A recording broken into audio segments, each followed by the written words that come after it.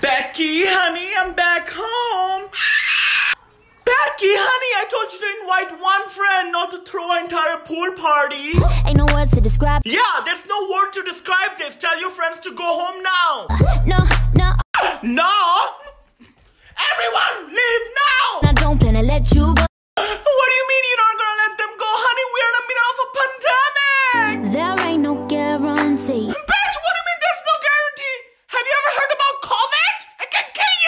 take a chance on we You wanna take a chance on die? It's not gonna happen, young lady! Baby, let's take our time First of all, I'm not your baby And second of all, you're not gonna take your sweet time Everyone leave now!